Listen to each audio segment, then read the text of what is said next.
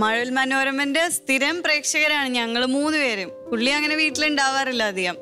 അപ്പൊ ഞങ്ങൾ എല്ലാ ഷോസും കണ്ട് കണ്ട് ഒരു ദിവസം പരസ്യം ഇങ്ങനെ പോയിക്കൊണ്ടിരിക്കണം ഇതിന്റെ അപ്പൊ ആഡ് കണ്ടപ്പോ ഞാനിത് വായിച്ചു. അപ്പൊ ഞാൻ പറ എന്നോട് മോൻ വന്നിട്ട് ഉമ്മി ഇത് ഉമ്മിക്ക് നമുക്ക് പോവാം ഉമ്മി. നമ്മുടെ ഏജൊക്കെ ഇതിലുണ്ടല്ലോ എന്ന് പറഞ്ഞു. അപ്പൊ ഞാൻ പറഞ്ഞു പൊന്ന അത് കുടുംബജീവിതത്തിലും വ്യക്തി ജീവിതത്തിലും ഉള്ള അമ്മമാരെന്നാ പറഞ്ഞു ഉമ്മി കുടുംബത്തും ഓക്കെ.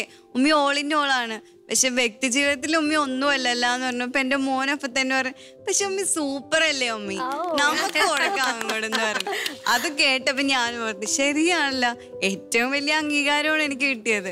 ഇനി ഞാൻ ഇതീ കൊടുക്കണ്ടേന്ന് പറഞ്ഞു ഞാൻ പോയി പറഞ്ഞു പുള്ളി അപ്പൊ തന്നെ നീ അങ്ങോട്ട് കൊടുക്കുന്നു പറഞ്ഞു എന്നോട്. വീഡിയോ എടുത്തു തന്നതും എല്ലാം പുള്ളി തന്നെയാണ് കേട്ടോ നേരത്തെ റിൻസി പറഞ്ഞല്ലോ കഴിഞ്ഞ എപ്പിസോഡിൽ റിൻസിയുടെ ഭയങ്കര ആഗ്രഹമായിരുന്നു ഇങ്ങനത്തെ സ്റ്റേജിൽ കയറണം ഇങ്ങനത്തെ കുറെ കാര്യങ്ങളൊക്കെ പറഞ്ഞില്ലേ. അപ്പൊ അത് എപ്പോഴെങ്കിലും വീട്ടിൽ സംസാരിച്ചിരുന്നോ? ഞാനൊരു കാര്യം പറയട്ടെ. ഞാൻ സത്യത്തിൽ പ്ലസ് ടുവിൽ ഞാൻ പഠിച്ചുകൊണ്ടിരിക്കുമ്പോഴായിരുന്നു എന്റെ കല്യാണം. എക്സാം എഴുതിയത് കല്യാണം കഴിഞ്ഞതിന് ശേഷം വന്നിട്ടാ എഴുതിയ. അപ്പൊ ആ ടൈമിൽ എന്റെ ഫ്രണ്ട്സ് ഒക്കെ ചോദിച്ചത് നീ എന്തിയാ ഓക്കെ പറഞ്ഞത്? ഞാൻ പറഞ്ഞ അങ്ങനെയെങ്കിലും സെന്ററിൽ പോയി സ്റ്റേജിൽ നിക്കാലോ. എനിക്ക് എന്റെ നിക്കാഹിനെങ്കിലും ഒന്ന് പോയി സ്റ്റേജിൽ നിൽക്കാലോ എന്നൊക്കെ അത്രയും സ്റ്റേജ് എനിക്ക് ഭയങ്കര വീക്ക്നെസ് ആണ്. കിട്ടിയിട്ടേ ഇല്ല ഇതുവരെ. അപ്പോ മാക്സിമം ട്രൈ ചെയ്തു പക്ഷെ യു ആർ നോട്ട് ലക്കി എന്നാണോ പറഞ്ഞു വരുന്നേ?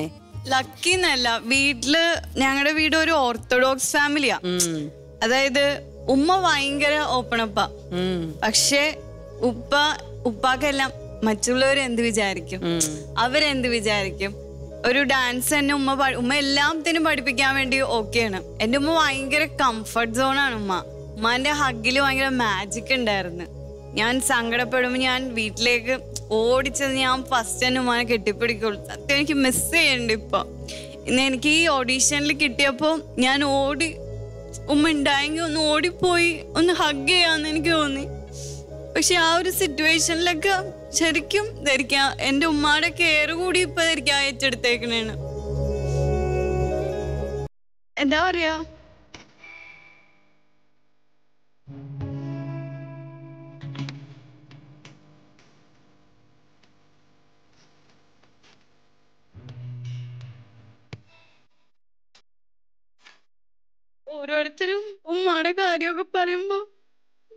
കുറെ മിസ് ചെയ്യണ്ട എനിക്ക്. പക്ഷെ ഇൻവിസിബിൾ ആയ ലോകത്ത് എപ്പോഴും എന്റെ കൂടെ ഉണ്ട്.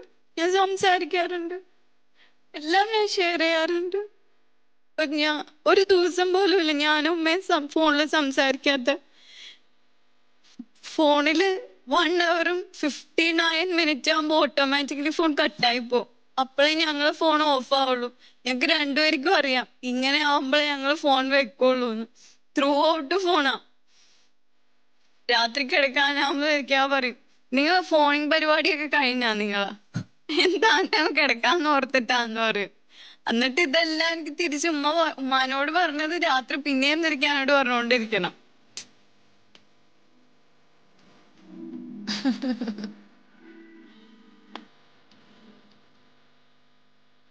ഓക്കെ ലെറ്റ്സ് ഹിയർ ഓക്കെ ഉമ്മ എല്ലാം കാണുണ്ടാവും ആ, ഉമ്മ പറയുന്നതും കാണുണ്ടാവും അപ്പൊ നമുക്കത് വേണ്ട.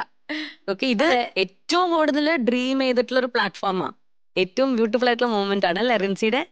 അപ്പൊ നമുക്കത് എൻജോയ് ചെയ്യാം. ശരിക്കും ജീവിക്കാം. Okay? Good luck Thank you. Thank you so much thank you so much for coming Mama,